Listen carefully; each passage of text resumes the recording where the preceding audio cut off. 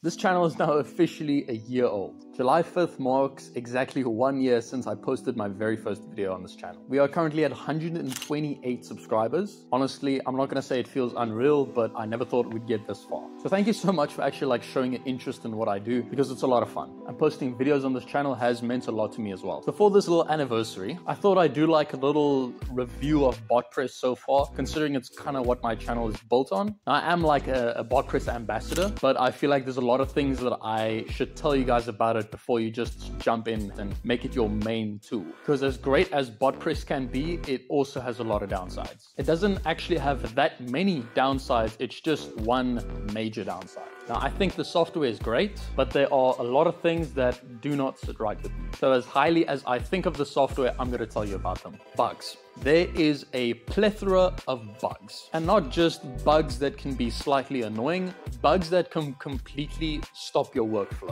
All right, so let's start at the very first bug that BotPress really frustrated me with. It was a login error bug. Basically, what would happen, you would try to sign in and it would just say login error occurred. It still happens on the odd occasion today, but it's not a problem anymore. And that would mean you could not work at all. You could not sign into your account. You were literally stuck. This could be for a few minutes, this could be for a few hours. I think the worst case it ever was, it was for two days. For two days, you could not work. Now they fixed it, I think somewhere, I think it was maybe November last year, they fixed it, so it's not a problem anymore. But for four months on and off, you were literally locked out of your account for you don't know how long. Then later that year, we had a table card bug, meaning that for something like the Find Records card, it literally just wouldn't work. Now that is pretty specific. However, just a small bug like that has the potential to stop the entire functionality of a one bot. And at the moment, there's another bug, the array variable bug, where for some reason when I was working on the turbo bot that I made a video on, for some reason arrays just weren't working. And I haven't checked since, but I'm pretty sure they're still not working. Now, a new bug as of the past few weeks is that every single variable is called a string. This is very frustrating when you're troubleshooting a problem and every single one of your variables is a string, even though it's not a string, they all just are labeled as strings. Now, I'd love to say that these bugs just make my life difficult, but it doesn't just make my life difficult in building bots. I run a business in AI chatbot development, meaning that if something goes wrong on BotPress's end and it stops the functionality of my bots, it comes down on me from a client. I remember one morning I got an email from a client that I literally signed a week ago, and the bot that I built them stopped working entirely. It was working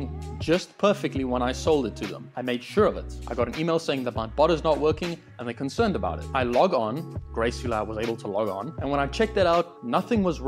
My code, my cards, nothing changed, nothing was showing errors, nothing. Around about that time is when the table card bug became a thing. I looked at my cards, I looked at my code, everything was supposed to work fine.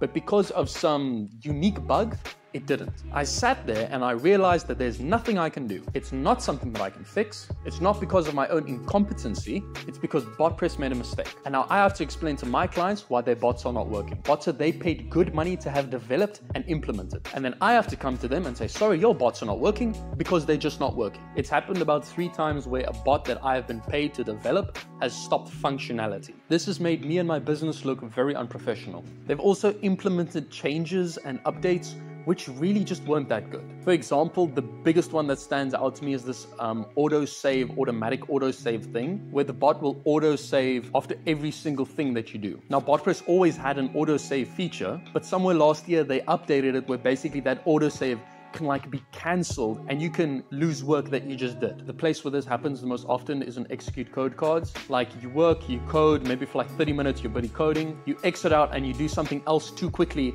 it cancels that autosave and now you lost everything. As someone who works really fast, I have lost quite a bit of work like this. Now in a recent update, it's been much better, so it's it's not that big of a problem anymore. It's just an example of an update that really didn't do us any favors, but they still kept it. Now even though it sounds like I have 101 bad things to say about BotPress, I have 200 good things I can say about BotPress as well. The first thing is, is just support. There is a plethora of support out there. They have the YouTube channel, they have the ambassador program that I'm a part of, they have the Discord community, there's just so many things and people that you can talk to if you ever get stuck or you need to learn more about BotPress. I often compare BotPress to Lego blocks. Like anything that you can imagine within reason, you can build with Lego. And that is what BotPress is like. BotPress is just one of a kind when it comes to complexity and like ease of use. It has this this beautiful blend. Actually, I think I'm gonna do like an illustration. Okay, so let's say that we have a depth scale.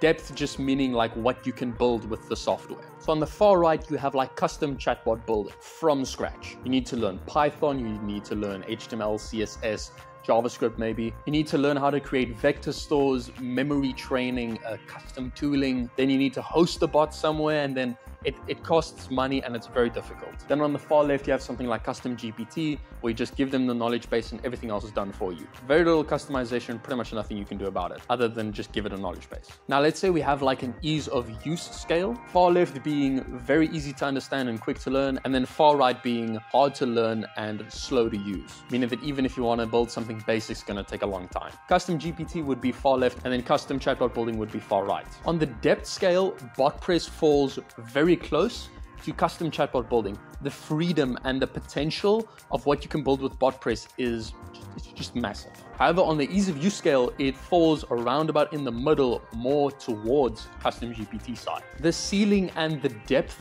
of BotPress is just, it's incredible for how easy it is to use. Some of my bot building friends on LinkedIn, they use VoiceFlow. If you were to compare like the maximum capability of the two bots that we can build with a different software, mine will always be more complex and more intricate and more impressive than a VoiceFlow one will be because I just have more tools to use. So for experts, it has enough depth to build something intricate, but for beginners, it's still pretty easy to get started. New bot builders need to make a decision when they get started. What software are you going to build your bots with? And at the moment, their decisions are not really that great. The two main competitors in bot building is VoiceFlow and BotPress. And VoiceFlow is just like so far left and BotPress is so far right. And if a beginner, like someone who knows nothing about code, nothing about AI, picks up BotPress, they are going to struggle. I know that because I started with BotPress. I never bothered with VoiceFlow or uh, any other software, just BotPress from the start. It is just still very difficult to understand. But these days, BotPress is advancing. It's more tutorials, it's a better server, it's more ambassadors. It's not perfect, and I think there are better strategies that they can implement